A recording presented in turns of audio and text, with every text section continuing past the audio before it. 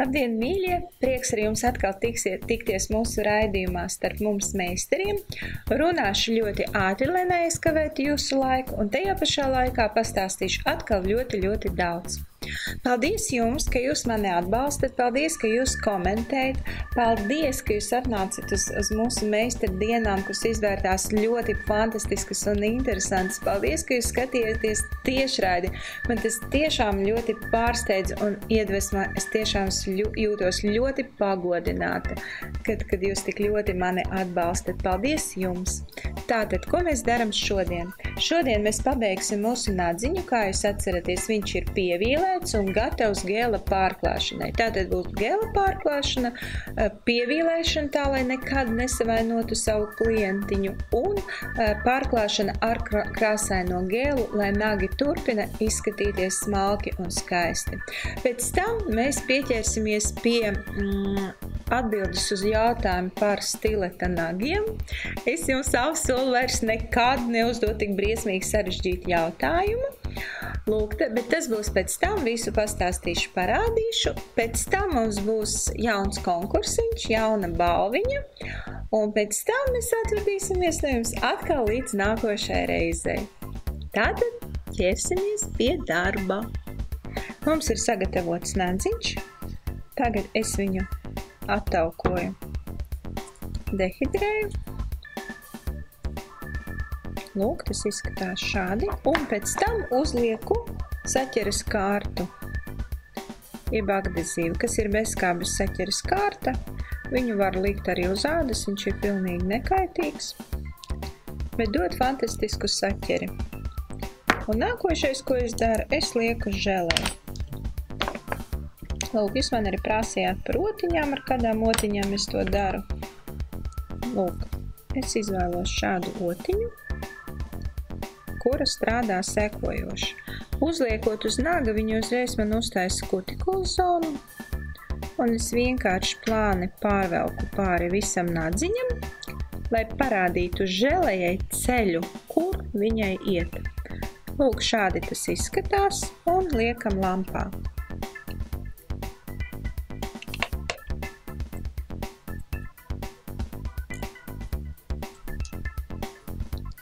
Ja es strādātu uz klientu, es noteikti darītu visus četrus nādziņus kopā, četrus vienu rociņu, un kamēr rociņa atrastos lampā, es strādātu ar otru rociņu. Nu, lūk, pirmā saķerīte ir notikusi, un tagad nākošais solis pie nagu modelēšanas. Es paņemu želeņu, cik man vajag, lai uzmodelētu visu nādziņu, un vienkārši viņu nolieku uz nādziņu. Un palīdzu šai žēlējiņai druscītiņ, druscītiņ izlīdzināties. Tas notiek diezgan ātri un diezgan raiti. Lūk, šādi. Tad es paskatos, kā izskatās no sāniņa un apgriežu pirkstiņu otrādi. Un pagaidu, kamēr, kamēr viņa vienmērīgi iz, izlīdzinās šī žēlējiņa. Otrādi un lieku lampiņā. Lieku lampiņā. Principā pilnīgs žūšanas laiks ir pilnīgi žūšanas laiks ir 3 minūtes šai žēlēņai, bet ir viens bet. Bet ir Bet ir viens bet. Šeit man ir jauna lampiņa, kura ir pilnīgi, pilnīgi jauna un atšķirās no citām lampām. Ar ko tad viņa atšķirās? Viņa atšķirās ar to, ka viņa ir LED un UV lampa kopā. Un parasto klasisko žēlēju, kura parasti žūst 3 minūtes, šī lampiņa žāvē tikai pa vienu minūti. Tas ir jaunākais sasniegums, kas ir šobrīd, kas jau spēj pātrināt darbu pie klientiņa. Tātad uh, 3 minūšu vietā mēs žāvējam nadziņus tikai un vienīgi vienu minūtīti, un vārds žāvējam varbūt nav pareizs, pareizāk sakot, polimerizējam. Lūk, nadziņš izskatās šādi pēc minūtītes lampā. Mēs noņemam lipīgo slānīti un pievīlējam. un pievilēsim mēs viņu sekojoši. Kā es jums jau stāstīju un mācīju, mēs sākam ar sānu. Vienu sānu un otru sānu. Turam vīlīti paraleli vienai malai pret otru un pievīlējam vienu pusīti un otru pusīti. Kā jūs redzat, es pielieku šādi pirkstu, un pirksts man strādā par tādu tā kā bloku, lai es neievīlētu klientam kutikulā. Tad, kad es vīlēšu pie kutikulas, es nolikšu pirkstu šeit, šādā veidā, lai atkal nepieskartos kutikulas zonai. Arī šeit, lai nepieskartos kutikulas zonai, es pielieku savu pirkstu. Viss kutikulas zona ir gatava. Tagad mums ir palicis tikai naga gals un pati virs virsiņa. Lūk, nāks ir uzmodelēts, viņš ir gatavs. Uh, ja jūs viņu pavērotu tuvāk, viņš, jūs arī pamanītu tādu lietu, kā modelēt ar šo želeju. Nekad šeit nebūs nekāds izcilnīts, nekāds paaugstinājums, jo ar viņu mēs varam modelēt pilnīgi bez, bez apīlēšanas. Ja jūs gribēsiet, es pēc tam jums parādīšu, kā to dara. Lūk, nadziņš ir gatavs, un viņš ir gatavs pārklāšanai. Vai nu ar topu, vai nu ar krāsaino želēņu. Topa vietā mēs varam izmantot, nu, nevis topa vietā, bet mēs varam izmantot vairākus topus. Ir topi, UV topi bez lipīgā slāņa un ir ar lipīgo slāni. Uh, un Bez lipīgā slāņa parasti topus ir jāuzliek tieši tieši uz tās žēlēs, kur viņa beidzās, lai nebūtu kabatas, lai viņi nepaceltu viņu uz augšu, jo parasti, ja tops trāpa uz um, nadziņu, nu, pliku nadziņu, tad viņš pēc tam taisa kabatiņu un pavelk līdzi arī žēlēju. Tad šeit arī ir vienfāža žēlējas priekšrocība, jo ja es tagad paņemtu šo žēlēju un pārklātu pāri, būtu pilnīgāk, pilnīgi perfekts spīdums un nekad nebūtu kabatas, ja kas nebūtu varbūt ar kādu no topiem. Un otrs variants ir tas, kad, um, kad ir tops, kurš ir UV tops ar lipīgo slāni, kuru pārklājot mēs varam trāpīt tieši uz uh, brīva nadziņa, jeb dabīgā nadziņa, un viņš dod saķeri ar šo dabīgo nadziņu. Tas, kas attiecās uz topu, bet līdz viņam vēl tālu, mēs tagad uzliksim vienkārši krāsiņu. Un te es jums parādu vienu no krāsainām želēm, kura vienkārši fantastiski klājās, nepadarot nadziņu biezāku. Tā kā tas parasti notiek pārklājot ar citām želējām, krāsainajām želējām. Lūk, šādi.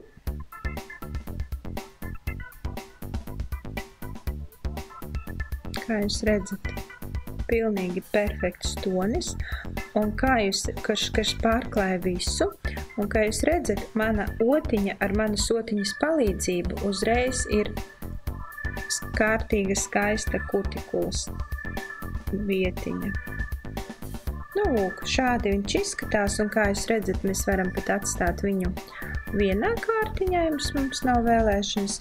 Izskatās pilnīgi tā kā būtu mm, pārklāts ar nagu laku, nevis ar žēlēju. Un mēs liekam viņu lampiņā uz 60 sekundiņām. Minūtīte ir pagājusi, ņemam ārā. Izņemam ārā un pārklājam ar līdzeklīti, par kuru nav jāuztraucās, ja viņš trāpa uz dabīgā naga. Vai mums jau tur dabīgā naga praktiski nav pārklājam ļoti plānā kārtiņā un atkal liekam lampiņā uz vienu minūtīti. Patinam minūti uz priekšu. Vai nu kamēr žūst, es jums pastāstīšu, kas būs nākošā raidījumā. Nākošā raidījumā es turpināšu rādīt darbus formām uz problemātiskiem nagiem Un es paskatīšos vēlreiz jūsu jautājumus, kas, ko jūs būsiet atsūtījuši, lai strādātu tālāk. Bet principā tā būs kamuflāža un francis. Mēs turpināsim runāt par to. Minūtīte ir pagājusi, un kā es jums jau lielījos, ka man nevajadzēja žāvēt trīs minūtes, kā es to būtu darījis parasti, bet tikai uh, vienīgi 60 sekundes, ja ir viena minūtīte. Un tagad mēs noņemam lipīgo slānīti. Un mūsu nadziņš ir pilnīgi un perfekti gatavs. Un, ja jūs pamaniet, es viņu nolakoju arī no priekšiņas, jā, lai viņš izskatās pilnīgi viss pārklāts. Un tad mēs ņemtu kutikulu seļiņu, ieļotu kutikulu seļiņu un, un lūk, šādi izskatās mūsu gala rezultāts. Paldies jums visiem, kas mēģināja atbildēt uz šo jautājumu par stileta nagiem. Un visiem, kas mēģināja atbildēt, arī šoreiz būs šī balviņa, jeb dāvaniņa no manis, šī uh, līmīta, fantastiska līmīta. Un tā būs Diana, Daiga, Inga, Rineta, Sintija, Sandra. Bet uh, Kristiāna Kika, viņa nav meistarīta, bet viņa arī centās kaut ko. Viņa dabūs šo krēmiņu. Tā kā lūdzu, meitenes, sazinieties ar mani, eh, lai jūs varētu saņemt šo dāvaniņu. Lūdzu, rakstiet! Eh, vēl, meitenes, es jūs iedrošinu, droši rakstiet man personīgi, ja jums ir kādas atbildes, jo es ar visiem sarakstos un visiem atbildu uz interesējušiem jūsu jautājumiem. Un tagad mēs es jums parādīšu šo stileta modelēšanas momentiņu. Tātad aiziet drusku par modelēšanas uh, pasākumu, un es te visu laiku vērošu sevi kamerā, lai es tiešām rakstītu un jūs redzētu. Tātad pirmais, ar ko mēs sāksim, es jums uzzīmēšu, uzzīmēšu nādziņu, kas ir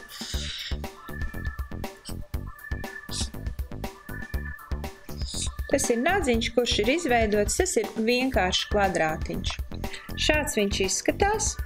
Un, piemēram, ja jums ir tāda situācija, jūs sākat modelēt nadziņu, uzmodelēt viņu kvadrātiņu, un jūsu klientiņš jums saka, ah, piedodiet, man tomēr vairāk gribētos tā kā spiciņu vai ovāliņu.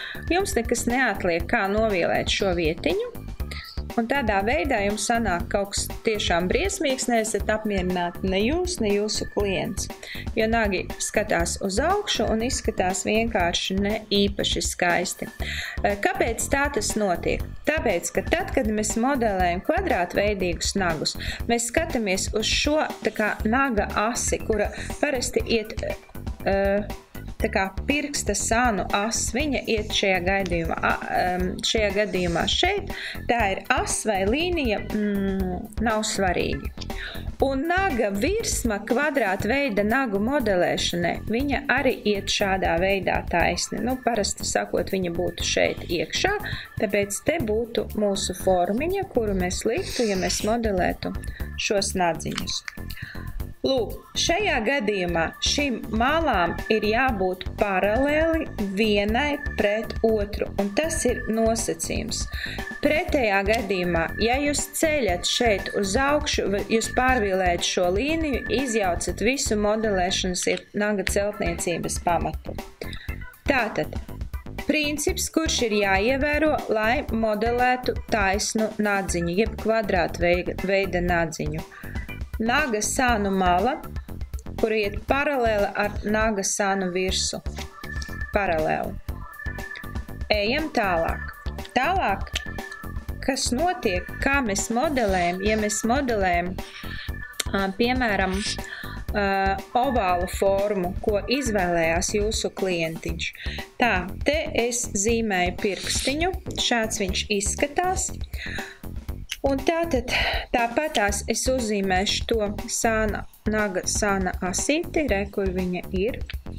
Bet šajā gadījumā atskaites punkts, lai liktu formu, mums vairs nebūs ne šeit, ne šeit augšā, bet būs šeit kutikulas vietā, kutikulas zonā. Un šeit mēs atkal velkam tādu paralēlīti. Lūk, viņš izskatās šādi zīmējumā, to visu ļoti labi var redzēt.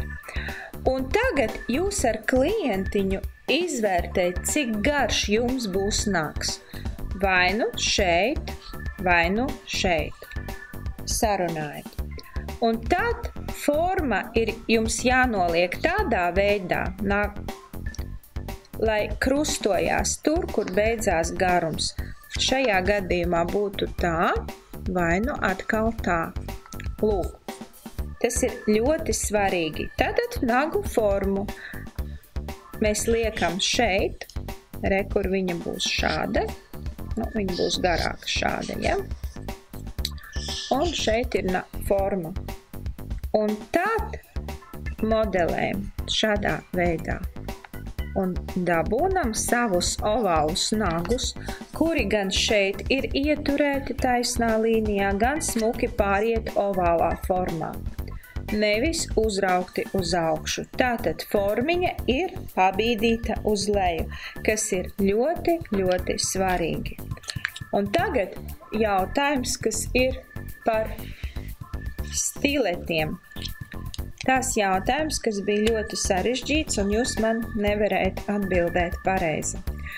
Lai modelētu stileta nagus, mēs atkal zīmējam dabīgo nadziņu, mēs atkal zīmējam pirkstiņu, Lūk, šāds viņš ir. Mēs atkal zīmējam šo uh, sāna līniju, jo šī līnija ir tā, kura vienmēr dod šo atskaites punktu. Uh, es laikam te aizskrēju drusku uz priekšu, jo tad, kad mēs šeit modelēsim nādziņu, mēs viņu modelēsim šeit pa virsu. Sākās ar neko, pēc tam viņš veido nādziņu un aiziet atkal uz neko. Lūk. Un šeit ir pilnīgi pietiekama vietiņa, kas dod stiprumu, jā, paaugstinājumu C, um, nevis C izlikumu, bet apliks tieši naks ir nostiprināts. Un šeit ir viens punkts, te bija viens punkts, un kas te ir ar stiletu?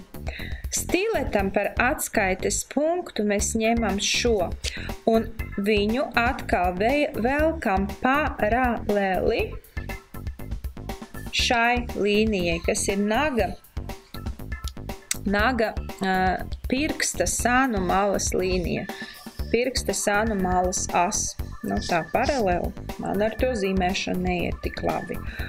Un tad, kad mēs liekam, velkam no naga virsotnes, jā, kas ir no sāna, velkam, velkam, velkam, velkam un aizvelkam līdz krustojumam ar šo līniju. Redziet, krustojums notiek šeit. Un tādā veidā šie stileta nagi parasti ir, ir ļoti, ļoti gari. Un te arī parādīts, kā mēs liekam formu, un parasti tas ir divas formas salīmētas kopā, lai mums izveidotos nāks, kurš konstruēts parasti. Lūk, šāds viņš izskatās apakšā, rekur punkts, kur krustojās augša un apakša, un šeit Šeit mēs būvējam atkal, stiprinam šo augšdaļu un aizējam pilnīgi uz plānu plānu galā. Lūk, šāds ir izmodelēts pareizais stilets. Bet, ja jūs uh, uzliktu formiņu nepareizi tā, kā jūs to veidotu priekš šī nadziņa, tad jūsu forma būtu nolikta tā, un nagi izskatītos šādi. Vienalga kāds garums, viņi vienkārši izskatīti briesmīgi, pacelti uz augšu. Tātad, lūk, Stilets izskatās, vai ir jāveido ļoti garš tikai tāpēc, ka viņu uh, celtniecības pamata, pamata schēmā tas ir pieprasīts jo ir atskaites punkti, kurus mēs izmantojam modelēt jebkuru formu. Lūk, tāda būtu arī tā pareizā atbilde. Piedodiet, viņa tiešām bija ļoti sarežģīta.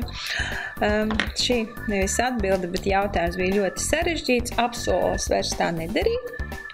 Lūk, un tāpēc šodien jautājums būs sekojošais kas tas ir, kas šī ir par lampu. Vai tā ir UV lampa, vai tā ir LED lampa, vai varbūt kaut kāda cita lampa. Tad šāds ir jautājums. Un viens, kas pareizi atbildēs uz šo jautājumu, savā īpašumā dabūs šo matēto nagu laciņu.